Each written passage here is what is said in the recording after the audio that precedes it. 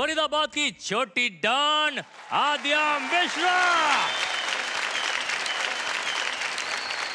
आज गाना कौन सा गा रही दिल के अरमा आँसू में बह गए गाने वाले। वाह वाह वाह वाह। क्या बात। आद्या आपके लिए भी हमने एक सरप्राइज़ सोच के रखा है। तो दोस्तों अब इस मंच पे आ रही है वो जिन्होंने अपनी सिंगिंग और एक्टिंग से 80s के दौर में हर दिल पे राज किया। क्वीन ऑफ़ इंग्लैंड ने इन्हें ग्लोरी ऑफ़ म्यूज़िक का खिताब दिया था। तो please welcome very beautiful Filmfare award winner singer actor Salma Agha ji रात में जो मज़ा है, मज़ा ये कुछ नया नया है कि दिल को आज क्या हुआ है। कि झूमता ही जा रहा है। झूम झूम झूम बार सलमा जी के लिए एवरीवन जोरदार तालियाँ।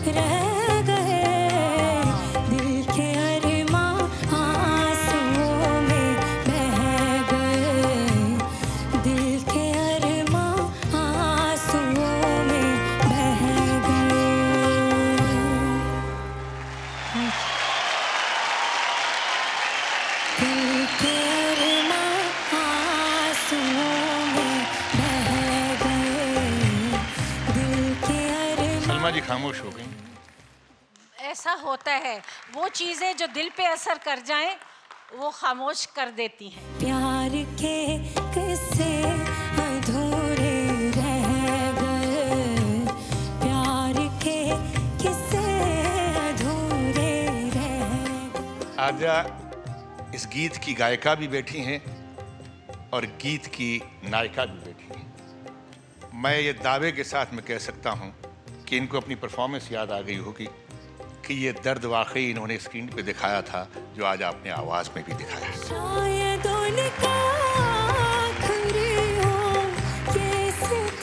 thank you thank you so much very well done very well done लोगों से बात करना चाहता हूँ।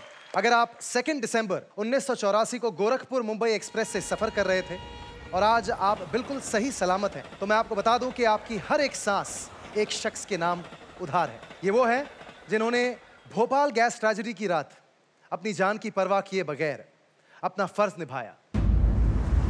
उस रात कुछ और घरों के चिराग बुझ सकते थे, लेकिन एक इंसान का फ़र्ज़ न जाने कितनों के लिए मौत की बाहों से ज़िंदगी खींच लाया। मैं बात कर रहा हूँ ex station master Ghulam Dastagir ji की। आज गुलाम दस्तगीर जी के सुपुत्र यहाँ आए हैं। उनकी इस बहादुरी की कहानी हम तक पहुँचाने। Please welcome mister Shadab Dastagir.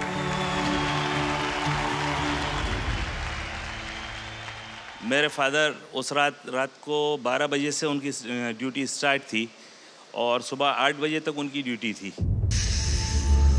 और अपने पेपर वर्क को कंप्लीट कर ही रहे थे, कुछ उनको हलचल बहुत तेज़ दिखी।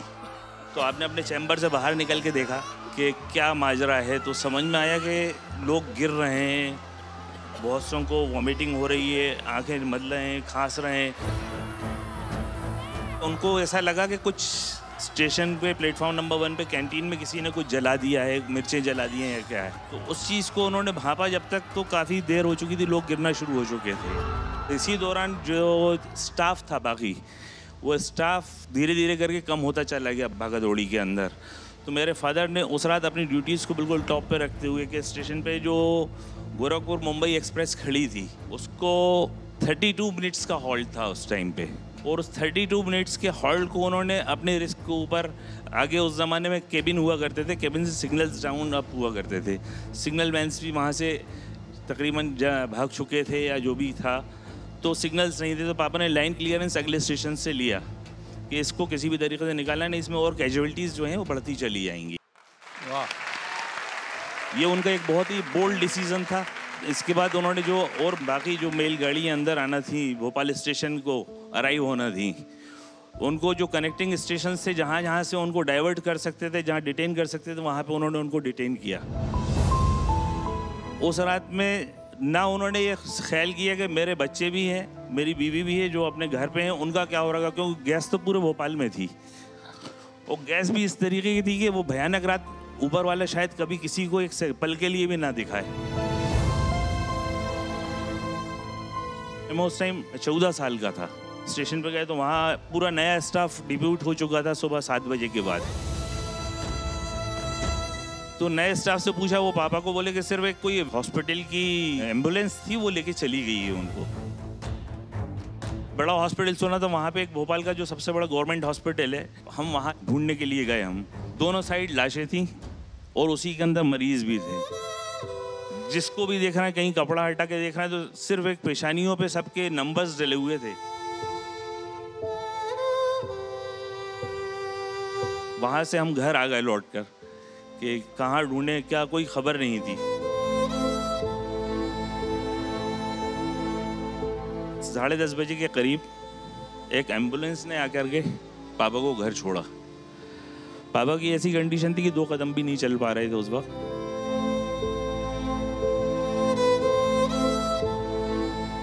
उसके बाद जो उनकी बीमारी का आलम जो स्टार्ट हुआ तो टिल 2003 के अंदर उनका स्वर्गवास हुआ।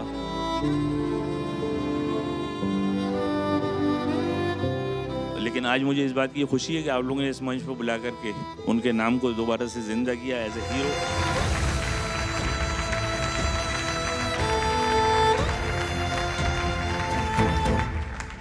कहते हैं ना कि जब हवाएँ इंसान के खिलाफ हो जाएँ जी। तो इंसान आगे बढ़ नहीं पाता है। भोपाल के खिलाफ तो उनकी साँसें हो गई थी जी। पर उसके बावजूद आपके पिताजी ने जी।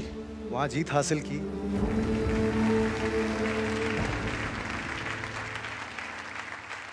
आ, सर हमारे टॉप ट्वेल्व में से आज किसे खुश नसीबी होगी आपकी ये फरमाइश पूरी करने की? फादर भी उस ज़माने में लता जी को बहुत पसंद करते थे।